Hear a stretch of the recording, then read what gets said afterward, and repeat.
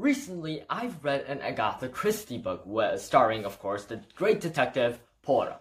And I've read a book called Death on the Nile. And I've decided, from looking at the back with all the Poirot books, or Poirot, or whatever how you pronounce that detective name books, I've decided to buy the first ever Poirot book that, well, that Agatha Christie wrote. It's her first mystery. One of the best mystery books that I've ever read in my entire life. And well, let's get right on to it. Hello, fellow book questers. It is I, Aaron the book quester, and today I am here with this epic Agatha Christie book, The Mysterious Affair in Styles. Porras, Port's first case. And well, let's get right on to it. A man named Captain Hastings.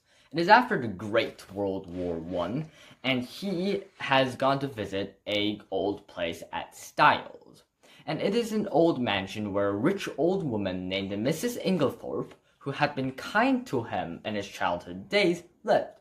And he had befriended dear old John Cavendish, who was the stepson of Mrs. Inglethorpe, and whom he knew very, very well. But something incredibly unexpected happens. Mrs. Inglethorpe is found dead. No, she isn't found dead. She calls out for help and the family members break down the door, goes in, and finds her in convulsion, and then she dies.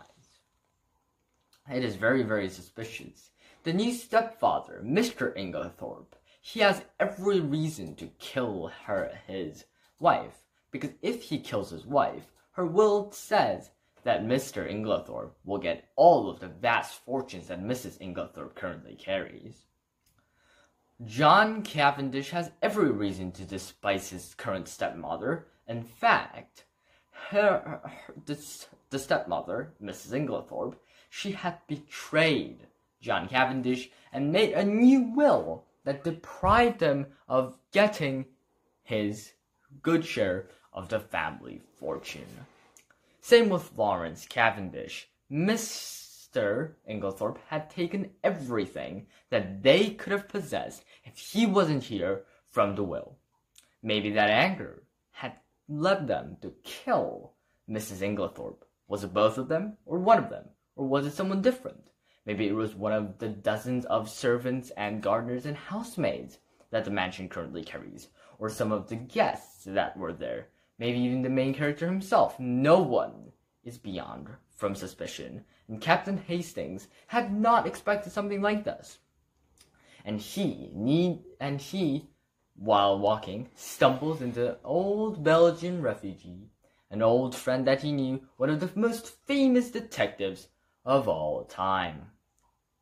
Detective Poirot, one of the greatest Belgian detectives of all time, retired, but he's tired of that, and he's ready to make a good old comeback.